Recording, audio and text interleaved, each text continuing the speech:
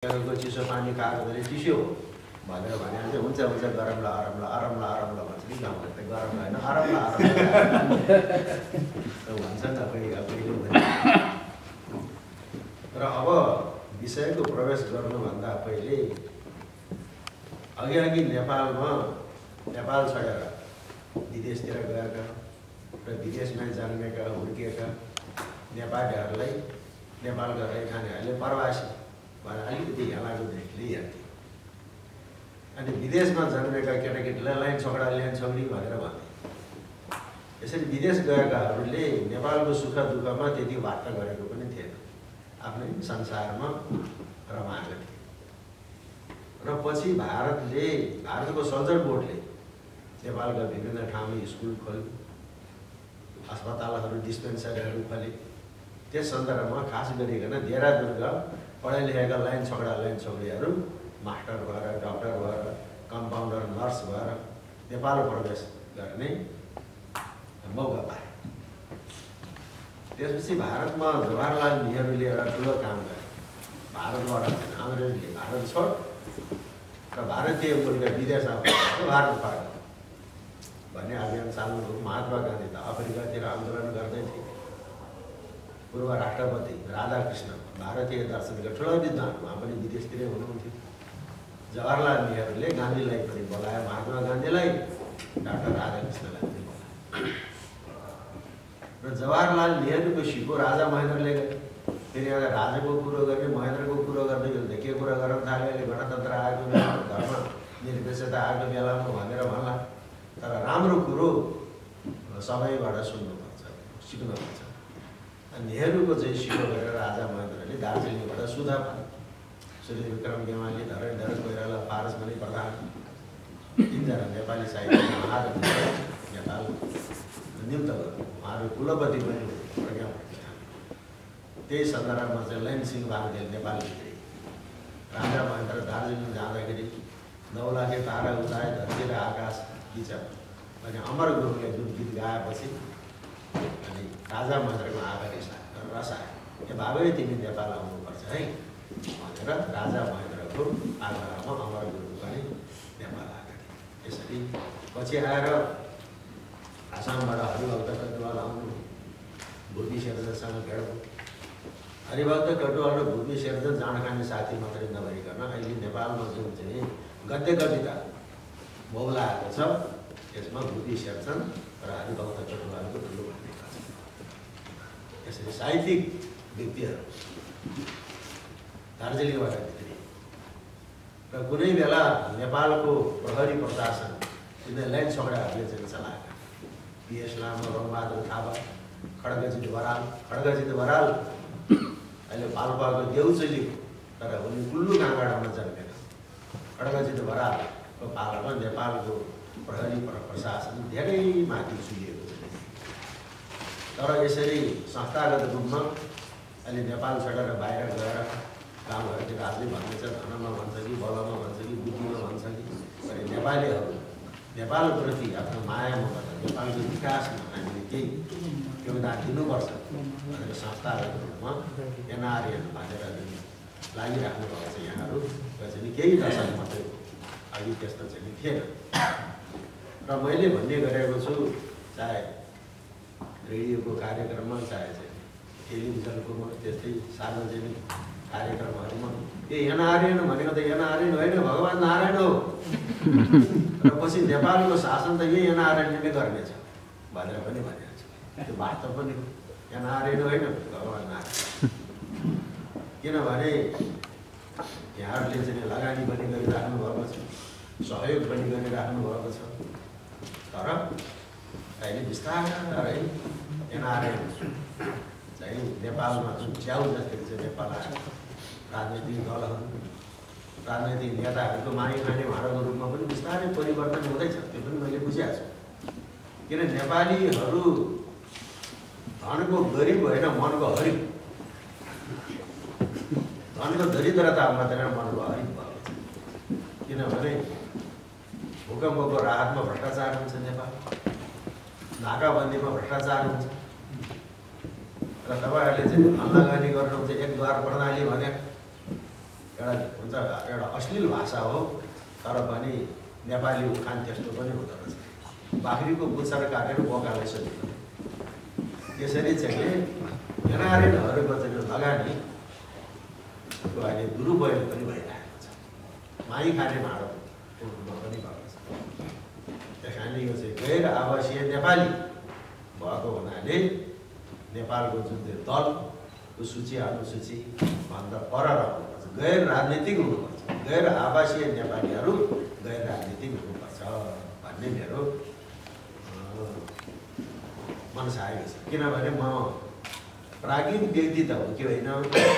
तर म गैर राजनीतिक स्वतन्त्र व्यक्ति चाहिँ क्या त्यसो भएको हुनाले गैर आवासीय नेपालीहरू गैर राजनीतिक हुनुपर्छ र धनको मात्रै लगानी होइन। नेपालमा अहिले नैतिकताको खरिडी परेको छ प्राज्ञिक खरिडी परेको छ। हुन त बिहानभरि विभिन्न एफएमहरूमा टिभीहरूमा धार्मिक प्रवचन मात्रै हुन्छ बिहानभरि दुई तिन घन्टा। तर त्यो धार्मिक प्रवचन साम्प्रदायिक। आफ्नो आफ्नो कुरा मात्रै बिचको समन्वय के छ? दर्शन दर्शन बिचको समन्वय के छ? समन्वयात्मक पक्षको विवेचना हुँदैन। आफ्नो मात्रै चाहिँ नि व्याख्या र विश्लेषण हुन्छ।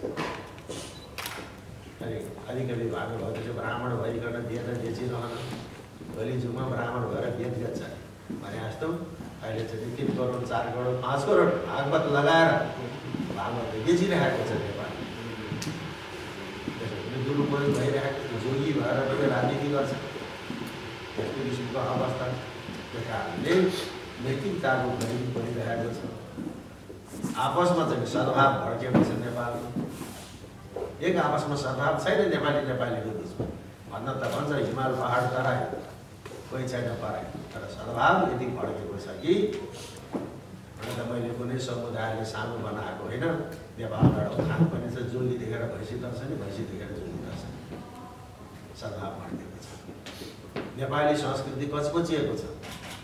नेपाली राष्ट्रियता बिथुलिएको छ। त्यही कारण नेपाल राष्ट्र विखण्डनको दिशातिर धकिलिएको छ। नेपाली क्राइसिस भनेको जस्तो एउटा अङ्ग्रेजले लेखेका थिए।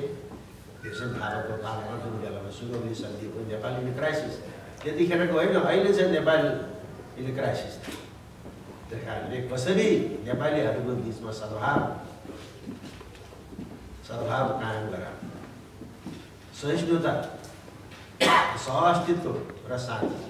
कसरी कायम गराउनु मुख्य एउटा चाहिँ समस्या। समस्या भनेको स्टेटमेन्ट अफ प्रब्लम भन्छ नि मेथोडोलोजीको रिसर्च चिन्तनको विषय। हामीले सोध्नु पर्ने विषय यो। र त्यसमा चाहिँ नि अघि यहाँ आयो पटक पटक समन्वयात्मक अध्यात्मवाद भनेको अहिले विश्वमा चाहिँ दुईवटा दार्शनिक चिन्तन एक अर्काको हाराहारीमा उठेको छ एउटा द्वन्दात्मक भक्तिवाद अध्यात्मवाद द्वन्दात्मक भक्तिवाद त्यो चिन्तन अनि समन्वयात्मक अध्यात्मवाद प्राच्य दर्शन पूर्वीय चिन्तन र त्यही समन्वयात्मक अध्यात्मवादको पृष्ठभूमिमा समन्वयात्मक नेपाली संस्कृतिको संरचना र विकास र त्यो समन्वयात्मक नेपाली संस्कृतिको धरातलमा नेपाल राष्ट्रको निर्माण भएको छ नेपाली राष्ट्रियताको विकास भएको छ त्यस कारणले अहिले चाहिँ नि एनआरएनहरूले केवल भौतिक विकास मात्रै नगरिकन नेपाली संस्कृति र राष्ट्रियताको बारेमा पनि केही कुरो सोच्नुपर्छ यसको केही एक दुईवटा उदाहरणहरू म यहाँ दिन्छु। कसरी कस्तो किसिमको समन्वय थियो त नेपालमा विभिन्न इथनिक ग्रुपहरूको बिचमा? र अब अहिले अहिलेको आदिवासी जनजाति नेपालको आदिवासी जनजाति भनेको मुख्य गुरुङ मगर राईले अहिले ठुल्ठुला नेताहरूको पनि खेती त्यही भएको छ प्राध्यापक डाक्टरहरू पनि खेती त्यही भएको छ ठुल्ठुला राजनैतिक नेताहरू नेता त सबै बाहुन छेत्री छन् बाहुन छेत्रीले पनि त्यही कुरो भनेर उस्काइरहेको छ तिमीहरूलाई राज्यले थिचेको छ बाहुनले निचेको छ भनेर भनेको छ हिजो भर्खरै म चाहिँ नि उहाँ लन्डन गएँ. अब डिफेन्स मिनिस्टरको मिनिस्ट्रीको अगाडिपट्टि गोर्खाली सिपाहीको एउटा सानी बनाएको रहेछ तपाईँपट्टि the bravest of the brave bravest of the brave त्यो ब्रेभेस्ट अफ दि ब्रेभ भनेकोलाई गुरु मगर राईले बोल्नु भने नेपाललाई कसरी चिनाएर सबभन्दा पहिले। वीर गोर्खा भनेर चिनाएको। गुरुङ मगर राई लिम्बूले चिनाएको अब हाम्रो ठाउँमा चाहिँ वर्चस्व छ। अति भर्खरै दुई महिना अगाडि नेपालका प्रज्ञा प्रतिष्ठानका कुलपति बाहिर काइलाले मन्तव्य दिनु उनका बाजेको आठवटा श्रीमती थिए। छोटे सरकार भएन। चार दिनको दिनमा लिम्बूहरूको सुध्याइ हुन्छ। सुध्याइको दिनमा तिन सय एक्काइसवटा थिए अरे चुला कति इष्टमित्र रहेछन् त तिनीहरूको आठवटा त श्रीमती तिन सय एक्काइसवटा चाहिँ चुला। हजारौँ मान्छेको जमघट होला। अनि उनका भाले अहिले धुलाबारीमा राजा महेन्द्रले पूर्व पश्चिम राजमार्ग खुलाउँदाखेरि कति बिघा जग्गा पऱ्यो मुआवजा लिउ सुब्बा भनेर मैले लिन्न। राज्यलाई दिएँ। कति बिघा? हजारौँ बिघा छन् त्यहाँ चार पाँच बिघाले चाहिँ के फरक पऱ्यो तर भइरहेको कहाँ लगायत अति भर्खरै दिदी के हो त्यहाँ? उसले चाहिँ गिरिजासँग हाम्रो बाबुको पालो चाहिँ मुआवजा पाएको छैन भने करोडौँ रुपियाँ असुली बाबुले दान दिए। त्यहाँ छैन अनि म दुई हजार अडचालिस सालमा यो अरुण तेस्रो जलविद्युतको वातावरणीय अध्ययनको लागि सङ्घ सभा गएको थिएँ। सङ्घ सभाको खाँदबारीदेखि माथि पाङमा भन्ने एउटा चाहिँ कुलुनिया राईहरूको एउटा बस्ती छ। त्यहाँ गङ्गा प्रसाद राई बाहुन्न पगरीको राई। त्यो बाहुन्न पगरीको राई भने के त भने त्यो राईको हातमा बाहुन्नजना थरीहरू छन्। त्यहाँ जिनी भनेको त राई लिम्बू मात्रै हुन्छ बाहुन छेत्री पनि जिनी हुन पाइँदैन सबै थरी बाहुन छेत्री गुरुङ मगर टुलिङ टारका चाहिँ कुमारदेखि लिएर बाहुन्नजना थरीहरूले चाहिँ मालपत्र उठाएर गङ्गा प्रसाद राई कहाँ बुझाउने अनि उसले तेह्र थुम मालमा लगेर बुझाउने। त्यो त हतियार यो कुरो चाहिँ अर्कै कुरा हो। तर त्यतिखेर के थियो अघि दुई हजार बिस सालमा राजा महेन्द्रको पालादेखि अहिलेको पाँच भाग खारिज भयो। नयाँ मुलुकी ऐन नयाँ मुलुकी ऐन नआइन्जेलसम्म जातै पिछेको ऐन थियो एउटा उदाहरणको लागि भने अब जात त ठुलो त बाहुनै भयो बाहुनबाट उपाध्याय बाहुन उपाध्याय बाहुन बाहुनलाई हाडनातामा बात लाग्यो। खत लागेपछि त त्यसले सजाय भोग्नै पऱ्यो बात लाग्यो। तर होइन रहेछ। अदालतले चोख्यायो। अदालतले चोख्याएर पनि भएन। त्यसलाई चाहिँ गङ्गा प्रसाद राईको आँगनमा ल्याएर गाईको गोबरले लिपेर ती खत लागेको उपाध्याय बाहुन बाहुन त्यहाँ बस्छ। गङ्गा प्रसाद राईले सुनपारी यसो सर्किदिएपछि उपाध्याय बाहुन बाहुन आफ्नै जातमा आयो आफ्नै भागमा आयो। भने हिन्दू धर्म अवलम्बी आर्य संस्कृतिका अनुयायी तागाधारी उपाध्याय बाहुन बाहुनलाई जाँड खाने सुँगुरको मासु खाने राईले पानी सर्किदिएपछि उसको जात उग्लने भनेपछि त्यहाँ बाहुनले राई लिम्बूमाथि शासन गरेको छ कि राई लिम्बूले बाहुनमाथि शासन गरेको छ? अहिले त शासकीय स्वरूप गङ्गा प्रसाद मैले पनि भेटेको हुँ तर पछि उहाँ चाहिँ बिचरा जनयुद्धको समयमा बस्न सक्नु भएन काठमाडौँ बित्यो अझै तनहुको हिमालतिरको विष्णुतिर अहिले बितेको छैन। काठमाडौँको धापसीतिर कता बस्नुहुन्छ? ती मगरले पनि बाहुन बाहुनेलाई यसो चोखो पानी चाहिँ सुनपानी छर्केर उसको जात उकाले राख्ने सुगरको मासु खाने जाँड खाने मगरले पानी सर्किने बाहुनको जात उक्ले र मगरले शासन गरेपछि बाहुन माथि नि बाहुन छेनीले माथि चाहिँ मगरले शासन गरेको छ नेपालको सांस्कृतिक स्वरूप त्यहाँ एकदम सद्भाव समन्वय थियो। अहिले हामी चाहिँ दलित भन्छौँ। नयाँ शब्द चाहिँ भित्री नेपाली साहित्यमा दलित। समाजले जसलाई दलन गर्छ त्यो दलित भनेको तर पोखरामा पोखरामा पनि मैले यसो जाने आउने गर्दाखेरि बास बस्ने एउटा ठाउँ बनाएको छु। पोखराको भैरव निवासीदेखि अनि अनि भैरव टोलबाट यसो बस मोड्ने ठाउँमा दमाई टोल छ।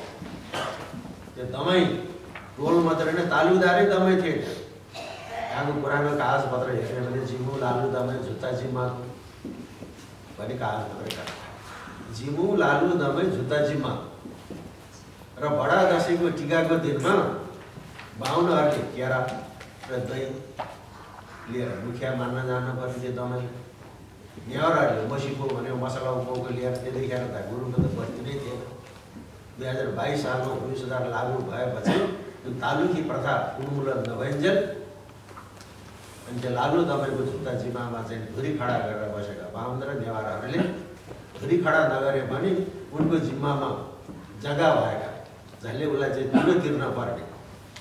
बाहुन छेत्री चाहिँ नेवारहरू दमाईको रैती भयो दमाईले मान्न जानु पर्यो नेपालको सामाजिक अवस्था हेर्दै भने त्यहाँ दमाईलाई अरूले दलन गरेको छ कि दमाईले अरूलाई चाहिँ दलन गरेको छ?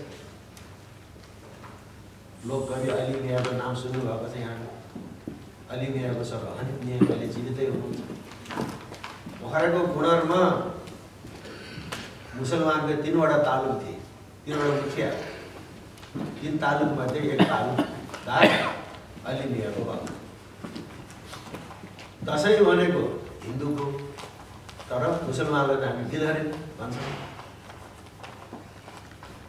अली मियाका बाको तालुकमा धुरी खडा गरेर बसेका बाहुन छेत्री र नेवारले मुसलमानलाई बडा दसैँको टिकाको दिनमा दही र केरा मुसीको लिएर थाले हिन्दू मुसलमानको कस्तो समाज छ? त्यहाँ कुनै विभेद छ। विभेद छ कि छैन? अहिले नेपालमा गणतन्त्र आयो भनेर भन्छौँ। धर्मनिरपेक्षता आयो भनेर भन्छौँ। दलन त अहिले छ। दलन अहिले छ। अहिले जात छैन भनेको छ संविधानमा जात छैन भनेको छ आइनमा जात छैन भनेको छ। अनेक किसिमको चाहिँ जातको चाहिँ वर्गीकरण छ। किनकि एउटा अमेरिकन एन्थ्रोपोलोजिस्टले एउटा सोसियोलोजिस्टले त वर्णवादी होस् त आदिवासी होस् त जनजाति होस् त दलित होस् त सीमान्तकृत होस् अझ मधेसतिर त पिछडा वर्ग भनेर यस्तो किसिमको अनेक किसिमको वर्गीकरण गरिदिएको छ। संविधानले जात छैन भने एउटा अमेरिकन एन्थ्रोपोलोजिस्टको वर्गीकरणमा हाम्रा चाहिँ नेपाली शासकहरू पनि त्यही लहलहरूमा लागेको छ त्यसरी टुक्रै टुक्रा टुक्रै टुक्रा भएको छ। त्यहाँले नैतिकताको खरेडी छ। प्राज्ञिक खरेडी छ सद्भाव टुटेको छ र अब अहिले चाहिँ हिन्दू संस्कृति यो पौराणिक संस्कृति पौराणिक संस्कृति भन्नाले पुराणमा आधारित संस्कृति. वैदिक संस्कृति र पौराणिक संस्कृतिमा धेरै फरक छ। अहिलेको संस्कृति पौराणिक संस्कृति पुराणमा आधारित संस्कृति। यता पुराण त थुप्रै छ तर अठार पुराणको महिमा छ। अहिले नेपालमा चाहिँ थुप्रै विश्वविद्यालयहरू छन् थुप्रै प्रज्ञा प्रतिष्ठानहरू छन्। ती प्रज्ञा प्रतिष्ठानका पुस्तकालयहरूमा विश्वविद्यालयको पुस्तकालयहरूमा नेपालको चाहिँ राष्ट्रिय पुस्तकालय केशर पुस्तकालय त्यहाँको राष्ट्रिय अभिलेखालयमा त्यहाँ अठार पुराणको सङ्ग्रह छैन। तर लमजुङको चिसङको भन्ने एउटा बाहुन गाउँ दुर्गम बाहुन गाउँ अठार पुराणको ठेली अहिले पनि सङ्ग्रह छ। र चन्द्र शमशेरको समयमा